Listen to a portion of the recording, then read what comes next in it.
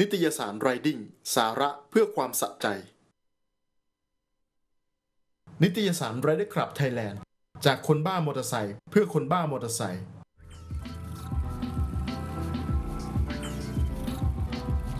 กลับเข้ามาสู่ช่วงสุดท้ายของรายการ Speed Rider ครับ วันนี้แน่นอนครับเรื่องราวต่างๆ เรามีเยอะแยะมากมายว่าจะเป็นในเรื่องของ SMS หรือว่าโทรเข้ามาหาเรา เพราะฉะนั้นเดี๋ยวเราไปพูดคุยกันในช่วงนี้นะครับ ก่อนอื่นต้องขอขอบคุณผู้สนับสนุนใจดีของเรา นิตยสารรายเดือน Fast Bike Thailand คิดถึงอะไหล่แต่งคิดถึง X Speed โซ่บิ๊กไบค์คุณภาพมาตรฐานต้อง DID กล่อง GLP เร็วแรงสั่งได้และ Amsoil น้ำมันเครื่องสังเคราะห์รายแรกของโลกเกรดพรีเมียมสูงสุดผลิตและนำเข้าจากอเมริกา ช่วงสุดท้ายแล้วครับท่านใดมีข้อความหรือว่าข้อสงสัยนะครับ อืม สามารถที่ SMS เข้ามาหาเราได้ทาง 482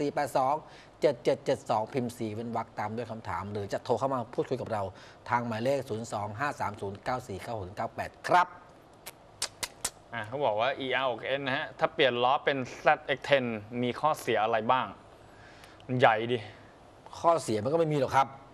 อาจจะให้หนักอะหนักขึ้นหนักขึ้นเออน้ำหนักเพิ่มขึ้นอืมนะครับแล้วก็ในเรื่องของค่าใช้จ่ายที่ต้องมีเรื่องของการแปลงเป็นบางจุดบ้าง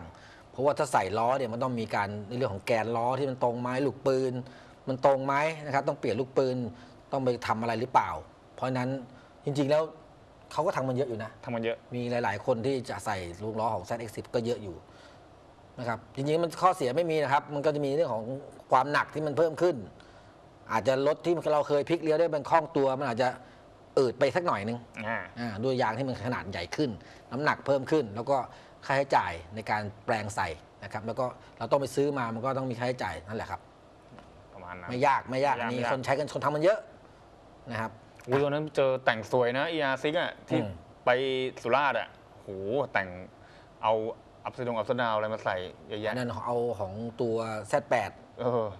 ใช่ไหมของของ dealer ใช่ของพนักงาน dealer ใช่ โอ้โห สวยเลย ใส่เอาตัวอัพไ d ดาวชุดหน้าของ Z800 มา แล้วก็อืมแม็กแม็กหน้าของ Z แม่หลังอ่าหน้าหลังเลย ของ Z800 มาใส่ก็หล่อเลยอะ รอเลย เป็น ER ที่หล่อมากอันนั้นใช่นะครับ ก็ลองดูนะครับ ถ้าไม่เอา Z10 ก็ Z แปดก็ได้ ลองดูครับ ใช่ชุดหน้า Z แปดผมว่ามันยังพอก้อมแก้มนะมันยังพอดุมันกำลังดีอืมเบอร์ยางไม่โตขนาด190อะเออเพราะว่าถ้าเผื่อว่าเป็น Z 10เนี่ยอย่าลืมนะ ล้อใหญ่แล้วถ้าเผื่อว่ามันต้องมันต้องใส่ยางให้เหมาะสมถูกต้อง แล้วพอไซส์ยางของเขาเนี่ยของ Select 10มาอยู่ใน ER เนี่ยโอ้โหมันไม่ติดกันโคนก็ก็ก็ติด swing arm ลองเอาแค่ Z800 ก่อนก็ได้เอออะ Zoomer-X ขี่มาอยู่ดีๆแล้ววูบดับกลางทาง สตาร์ทอีกที อะไรอะก็ยาก ก็ยากประมาณ3-5นาทีเป็นเพราะอะไรครับอะไรคะอืมขี่มาอยู่ดีแล้วดับ นั่นแหละ ปัญหาตรงเนี้ยต้องบอกว่าทั้งในเพจ Zoomer X แล้วก็ในเรื่องของผู้ใช้จริงที่เข้าไปถามตามดีลเลอร์อืมมันยังหาข้อสรุปไม่ได้เลยนะอืมผมว่าบางทีมันก็เรื่องของความร้อนก็มีส่วนทำให้อืมรถมันมันดับนะครับ แล้วก็ขับมาแล้วดับ ดับหรือจอดแล้วดับหรือว่าขับมาอยู่ดีมันดับคามือล่ะอืมเมื่อกี้ไม่เอ็นว่าไงอะจอดมาแล้วดับเลย ขับมาแล้วดับกลางอากาศ ดับกลางอากาศเลยเหรอ วูบไปเลยเหรอ เอสเอ็มเอสเมื่อกี้ใช่ไหมฮะ ย้อนเอ็นไปให้ดูหน่อยดิ ขอย้อนเอสเอ็มเอสใช่ดัปะบกลางอากาศ ขับมาแล้วอยู่ดีแล้วอ๋อขับมาอยู่ดีแล้ววูบเลยโอ้ กลางทางตายทีก็ยาก น่าจะเป็นทีนี้เรื่องของน้ำมัน ปั๊มติ๊กเปล่าใช่น้ำไหมมันใช่ปั๊เรื่อมงระติ๊กบกับบหัวฉีด เรื่องระบบจ่ายเชื้อเพลิง ใช่ น่าจะเป็นในเรื่องของแรงดันปั๊มติ๊ก ซึ่งนะครับเคยมีลูกค้าเข้าไปที่ตัวแทนจำหน่ายเนี่ยแหละ อ่า ตัวแทนจำหน่ายก็บอกว่าก็ไม่เห็นเป็นไรนี่ เหมือนกับเป็นโรคอาการกลัวหมอ พอเข้าไปเช็ค engine เช็คอะไรต่างๆ ก็ไม่มีขึ้น ไม่มี engine check ขึ้น อันนี้อันนี้ทราบเข้าใจความรู้สึกเลย แต่ทีเนี้ยเรื่องเนี้ยมันมันมันได้ไปถึงศูนย์ใหญ่แล้วนะ เดี๋ยวอาจจะต้องรอสักครู่ เพราะว่าปัญหาเนี่ยมันมันไม่ได้มีแค่คันสองคัน อืมเดี๋ยวต้อง recall กับ เดี๋ยวน่าจะมี recallนะครับ แต่ว่าถ้าให้ชัวร์อยู่แถวไหนครับ ถ้าเผื่อว่าอยู่แถวสำโรงสำนักงานใหญ่นะ ก็สามารถที่เข้าไปศูนย์ใหญ่ได้เลย ไปแจ้ง เพราะว่ามันมันมีเคสอย่างนี้ เกิดขึ้นแล้วอืมนะ เพราะฉะนั้นลองเช็คดูครับบางทีอาจจะอะรถเก่าหรือยังล่ะ ถ้ารถใหม่ ๆ ก็ลองเข้าศูนย์ถ้ารถเก่าลองเช็คในเรื่องของปั๊มติ๊กน่าจะเป็นล็อตหัแรวกฉีดอ่านั่นไม่น่ะเป็นล็อตแรก ลองดูส่วนใหญ่จะเป็น Zoomer-X ล็อตแรกนะ อืมใช่ อะมีสายเข้ามาคุณสนสวัสดีครับสวัสดีครับคุณสน ครับผมสวัสดีครับอ่าพี่แล้วพี่สนครับสวัสดีครับ พี่สนโทรจากไหนครับพี่โทรจากอุดรพี่อุดรครับอ่า บ้างกันครับพี่ อยากทราบว่ารถที่มาโชว์หน้าจอเมื่อกี้นี่พี่ยามาฮ่าที่นี่รุ่นไหนรุ่นอ๋อะไรพี่อ R15 ครับห้า Yamaha YZF R15 เครื่องยนต์ 155 cc อ๋อ ราคา 97,000 บาท อันนั้นเท่าเท่าเท่าไหร่นะพี่ 97,000 บาทครับ อ๋อสวยดีนะพี่ สวยครับ โอ้โหตัวนี้ต้องบอกว่าเทคโนโลยี เพียบพร้อมครับ ในเรื่องของ slipper clutch ในเรื่องของระบบ VVA วาล์วแปรผัน โชคหน้าแบบอัพไ d ดาวจอแบบฟูลดิจิตอลแล้วนะครับแล้วก็การออกแบบรูปทรงนี่สวยงามแบบสปอร์ตพันธุ์แท้เลยทีเดียว เทคโนโลยีมากที่สุดในบรรดารถ 150 ซีซีแล้วพี่กี่กี่ซีที่รุ่นเมื่อกี้เนี่ย150ครับ อ่าไหนขอรูปขึ้นมาให้พี่ก็ดูที นี่ตัวนี้ใช่ใช่ไหไหม ม ใช่ไหมพี่ตัวนี้เปล่าที่ดูหน้าจอเลย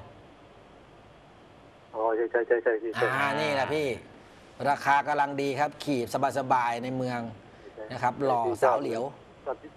ชอบซีซีเรียนประมาณนี้แหละพี่ CC 150ครับร้อยห้าสิบสองร้อยห้าสิบนะพี่150เท่านั้นเองดูดิระบบกระเทือนหน้าหัวกลับด้วย อืมครับผมแต่ชอบดอนหน้ามากกว่านะพี่ชอบฮอนด้ามากกว่า Honda ยังเงีฮยอบนๆอยู่ด้าเลยพี่ ตัว150 ตอนนี้ไม่ได้มีลายผลิตโฉมใหม่หรือตัวใหม่ขึ้นมา รุ่นรุ่นเก่านะพี่อ๋อ รุ่นเก่า เป็นคาบูนะเป็นอ๋อเจ้าคาบูคาบูตัวจะเพียวๆหน่อยอ่า150 ตัวนั้นครับผมก็อันนี้ก็เขาเอสพวกเอ่อนั่นนะพี่ครับเขาเอสพวกคอนด้าเอ็นเอสอาร์นะพี่ NSR ครับผมตัว 2 จังหวะเหรอครับ ครับผม พี่อยากได้หรือยังไง ก็อยากได้อยู่พี่แต่ มันหาซื้อยากที่ที่ใช่ นี่แหละ ที่สำคัญคือหาซื้อยาก ลองเข้าไปดูถ้าพี่มีมือถือก็ลองเอ่อเข้าไปดูในเพจ 2T Thailand น่ะรถเขียนสองว่าจังหวะ เขียนว่า2ทีอะอืม เลข2แล้วก็ตัวทีครับ แล้วก็ต่อด้วยคำว่า Thailand นั่นแหละมันจะมีเรื่องของการซื้อขายรถ2จังหวะนะครับไม่ว่าจะเป็น KR s e r p i c o NSR VR Victor อะไรนะแกมมากันมาก มีเยอะครับเข้าไปดูในเพจก็สวยก็สวยอย่างที่ชอบอยู่ที่ใช่ที่อาจารย์เขาเอามาออกเลยอ่าใช่ที่อาจารย์โอ้นำมาออกนั่นแหละครับใช่ครับผมก็ลองดูลองดูเมื่อกี้ก็สวยที่ยามาฮ่าอ่ามันเอาหลายละใจแล้วหลายใจแล้วพี่สน แต่ว่าราคาราคาค่อนข้างต่างนะพี่ เพราะว่าต่อให้เป็นสองจังหวะยังไงมันก็ไม่ไม่ไม่ไม่ไม่แพงไปกว่า R15 R15 ก็ยังมีราคาสูงอยู่ เพราะว่ามัน ราคามันตามเทคโนโลยีของเขาเทคโนโลยีเขาให้มาเยอะจริงๆตัวนี้อ่าพี่ดูรายการวันหนึ่งว่าว่าจะมาอุดรมาวันวันไหนนะพี่อ้าววันไหนอะ ยังไม่รู้เหมือนกันพี่มันยังไม่มีงานไปเหมือนกันอะ30กันยานุ่นถ้าคิวเท่าที่ทราบนะ อ๋อในในงานภาค เป็นงาน Racing Day พี่ อืมที่พวว่ากผมที่ว่าจะมาสนามที่อุดรนะพี่ อ๋อ ที่แข่งไงได้ดูรายการ วันหแข่งนึ่ง Enduro อ๋อเอดูโร Enduro สามชั่วโมง สิงหา ครับผม กันยา น่าจะเป็นกันยานี่แหละสิงหากันยาประมาณปลายๆกันยาพี่สนามหน้าพี่ท่านก็อยู่ใกล้ๆสนามนี่แหละพี่เอ้าแล้วครับ ได้ได้ได้พี่ยังไงก็เดี๋ยวเตรียมน้ำเตรียมผ้าเย็นไปให้ก๊อฟหน่อยแล้วกันครับเพราะเขาจะลงแข่งด้วย ครับผมตอนนี้ตู่กำลังหาทีมลงอยู่ อย่างที่ของแก่นเองได้ได้ไอ้สารนี่สบายใจเลยได้เลยอะไรนะพี่ ไอ้สารสบายใจได้เลย อ๋อสบายใจได้เลย ได้พี่มาถ้าถ้าถ้ามีงานผมประกาศในรายการเดี๋ยวเราไปเจอกันก็ได้เนาะครับผมครับไปร่วมกิจกรรมเฮฮาปาร์ตี้กันพี่ถ้างั้นก็แค่นี้แหละพี่ครับผมครับขอบคุณครับพี่สนคครัรับบสวัสดีครับสวัสดีครับสวัสดีครับอะก็เป็นแฟนๆรายการที่อุดรเออก็เราเดี๋ยวเราจะมีสองครั้งแหละถ้าได้โอกาสได้ไปใช่ racing day ครั้งหนึ่ง เลนเดย์ครั้งหนึ่งเลนเดย์นี่สิ้นเดือนกันยาเลย อ่าแล้วก็แต่ก่อนหน้านั้นก็จะมีช่วง Enduro ปลายเดือนก็จะมี Enduro สามชั่วโมง Enduro Endurance สามชั่วโมง อ่าสามชั่วโมงของคาวาซากิเขาก็อาจจะได้ไปเจอกันครั้งสองครั้งใช่ นะครับ มาโอ้หมดเวลาเราออกเวลาหมดหมดเวลานะครับไม่เป็นไร ก็ต้องขอขอบคุณนะครับelf Moto 4 Tech แรงดีไม่มีสะดุดปกป้องเครื่องยนต์อย่างเต็มประสิทธิภาพบิ๊กไบ e ต้องเอลครับ พบกับพวกเราได้ใหม่ทุกวันจันทร์ถึงวันศุกร์ครับ ครับผมตั้งแต่เวลา 18นาฬิกา30 นาทีถึง 20นาฬิกา40 นาทีนะครับ ทางช่อง s p e c i a l True Vision 691 กับรายการ Speed Rider วันนี้เราสองคนลาไปก่อน สวัสดีครับ